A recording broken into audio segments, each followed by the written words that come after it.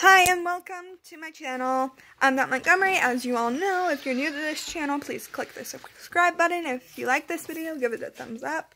Or don't, that's fine. Um, welcome to my new video and my new series. This is going to be my conspiracy theory series, and I'm actually going to keep it up because my manager is going to stay on me to keep it up. And um, today I'm going doing a conspiracy theory, the first one in my conspiracy theory series, which is a tribute to my old channel, Conspiracy Queen, which I'm still into these conspiracy theory side of the internet. And so, yeah, today I'm doing a conspiracy theory that my manager gave me, this Arctic, gave me a idea for. And this is on, is the government giving us medicine that is making us sicker? All right, let's get so let's get started. Let's click this one to are the psychiatric trick medicines making us sick, sicker. Let's click on it. This is a www.chronicle uh, focus.com. Okay. Are psychiatric medicines making us sicker? Alright, so I'm going to pause the video and then talk about it after I do my research. Alright. Okay, so this is um about five minutes later, and I found this website above the top secret com, And this is on the theory itself, and I'm finding it pretty interesting. It says um, they're spending money to make us sick because they want to keep us sick, so we keep spending money on the government. And I've looked at about three other websites, but this one has the most information and as saying some of the other things that the other sites are saying. I just wanted to make this a bit clear because I've been to four other websites, three or four other websites in five minutes looking through it, scanning through, so you know that I'm actually doing my research. So I just got done researching, and it's about five, ten minutes later, roughly, and Oh my goodness, I found a load of crap on the government trying to keep us sick.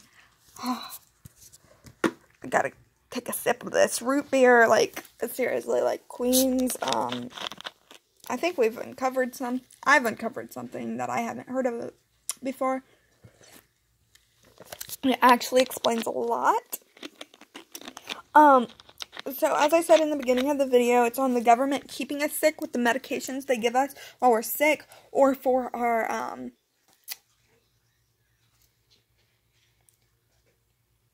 medical problems or our psychiatric needs. And I found a load of crap on psychiatric, a load of crap on keeping us sick, like with cancer it feels like chemo is making people sicker. It's crazy. Um, I feel like I'm losing it right now. So, um, see, as you can see, I still have that stuff opened. Um, I just scrolled back to the top. I searched mul a multitude of different things, and I added on to the stuff I searched every single time to make it more in depth of a search. Crazy shit I found. I'm actually freaking out and I feel like my heart is gonna explode. oh my gosh. So, what I found was that since chemo is a toxin, once it kills off the cancer virus, it will make you sick afterwards. But what if it makes you get over cancer for only a short period of time, and then the cancer comes back. It's just holding the cancer off. Um, that will be a video for another time, but I'm gonna have to make more than one tonight because I am freaking out right now.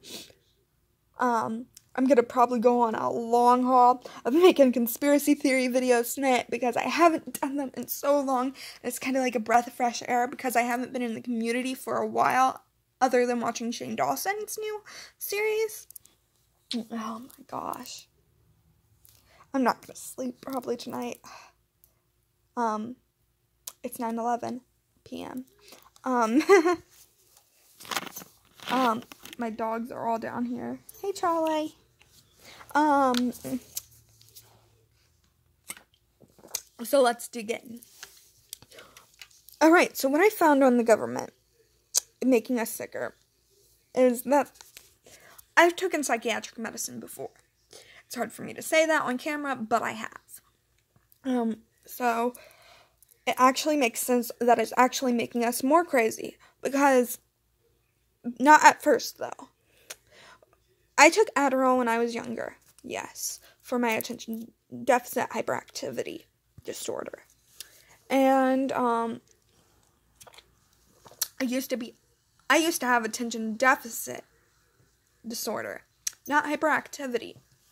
When I took the medication Adderall, when I got home when it wore off, I would be flying through the roof. Unlike before I started taking Adderall, I was calmer. And that might shock some of you, but I started taking Adderall in the first grade, and then I started being crazier. Only my closest, closest friends would know that, but, um,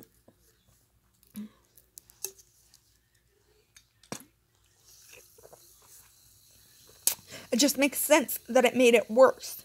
Um, then I have depression. I used to have very low level depression, but after the recent events, it's gotten worse. And after taking Zoloft, it got worse. My anxiety and depression, it got worse. And it makes sense that medication is making you more insane, more crazy, and worse in a way. Um, so I'm off of both of those medications now, and I'm doing a lot better. But when I was sick, when I was little, I used to get sick all the time. All the time, no matter what I did. Every week, we would end up in the hospital with me on a breathing thing and stuff like that. I started taking inhalers at a very young age because of my asthma. My asthma, basically.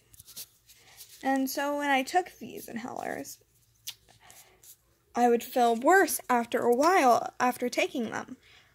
And I was like, and then we would end up in the hospital later on that night. And this happened at least once or twice a week when I was younger. Oh my gosh. and it, it, it makes me feel like they were trying to make me sicker. But after stopping taking them for a while and getting my tonsils removed, which no doctor ever wanted me to do, I felt a lot better and I haven't been in the hospital for breathing problems since. Crazy, right? other than my pneumonia I had. Um,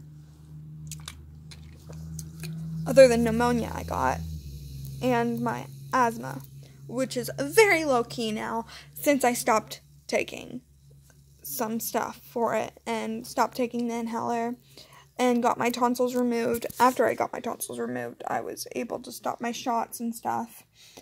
Um, what I found is the government is funding medicational medicinal companies and pharmaceutical companies to put different probiotics and stuff in it that could actually make you sick. Crazy, right? Who would think that you would want to do that? They would want to do that. But our economy and stuff like that, it's always about the money with the government and the pharmaceutical companies, all the companies, all they want is mo- money. All they want to do is probably. Com- I'm going to stop talking now. So, if you want to find out more about this theory, look it up. There's tons of websites. I just went through like seven or eight and I found all this stuff and then my personal experience. Oh my gosh, I'm not going to sleep tonight. Great. So, I'll see you later on tonight, I guess, after I research another conspiracy theory. And see ya.